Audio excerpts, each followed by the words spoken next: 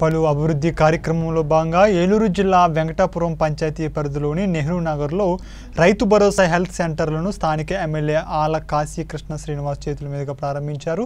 ఈ కార్యక్రమంలో Eluru municipal corporation mayor Noorjahan YCP కార్యకర్తలు అధిక సంఖ్యలో పాల్గొన్నారు.